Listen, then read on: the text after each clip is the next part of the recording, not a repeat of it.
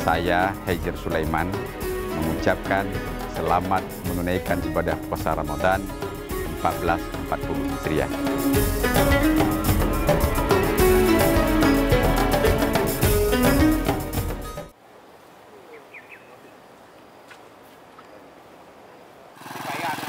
Sederoban penutupan saluran pembuangan milik PLTU yang dilakukan warga di Dusun Gelanggang Merak, Desa Suak Puntung, Kuala Pesisir, Nagan Raya hingga Kamis masih terus berlangsung. Penutupan dilakukan sejak Sabtu 18 Mei lalu karena diduga menjadi sarana pembuangan limbah perusahaan tersebut.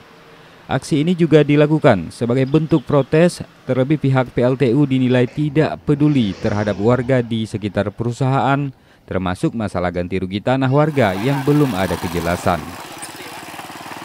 Warga juga mengaku kesal karena sejauh ini menjadi korban pencemaran debu batu bara. Pembuangan yang saluran kita rencanakan tu 8 titik.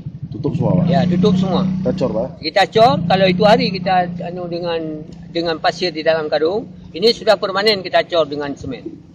Jadi dalam rangka hal ini supaya adanya kejeraan daripada perusahaan tersebut. Dari Sukamakmu, Saadul Bahri, Serambi On TV.